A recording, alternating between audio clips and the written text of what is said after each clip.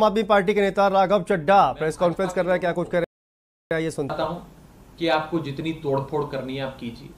जितना गुंडागर्दी करनी है, आप कीजिए।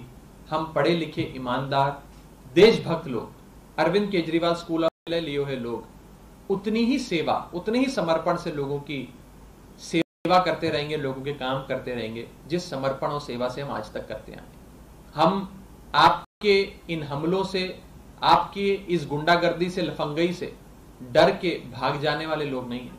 आप हमें पे हमला करेंगे, आप गुंडागर्दी करेंगे। अरविंद केजरीवाल जी स्कूल बनाएँगे। आप हमारे घर पे आकर तोड़फोड़ करेंगे उप मुख्यमंत्री के घर पे तोड़फोड़ करेंगे मुख्यमंत्री के घर पे अटैक करेंगे। अरविंद केजरीवाल जी, आप सबके लिए, देश के लोगों के लिए अस्पताल बनाएँगे, मोहल्ला क्लिनिक बनाएँगे। ये हमारी राजनीति है, ये आपकी राजनीति आम आदमी पार्टी को उसकी राजनीति मुबारक। भाजपा को उसकी राजनीति मुबारक। बस अंत में मैं इतना ही कहना चाहूँगा कि इस देश को अच्छे स्कूल, अच्छे कॉलेज और एक ऐसी व्यवस्था चाहिए कि हम विकसित देशों से मुकाबला कर सकें, इस देश को आगे बढ़ा सकें। हमें गुंडागर्दी और लफंगई नहीं चाहिए।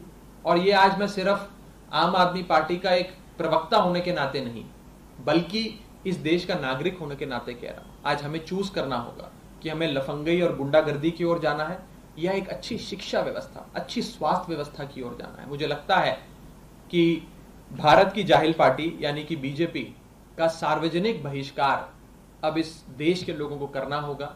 उनकी गुंडागर्दी, उनकी लफंगई से अगर इस देश का पीछा छुड़ाना है तो उनको बॉयकॉट करने के अलावा अब आज कोई चारा हमारे बीच नहीं रहा है। कोई सवाल हो तो आप पूछ सकते हैं। क्या आप इस मामले में कोई कंप्लेंट कर रहे हैं कि उसे उन लोगों को सम्मानित किया गया या केवल ऐसे सियासी आरोप प्रत्यारोप की तरह कल भी सवाल उठाया गया था देखिए, ये हमें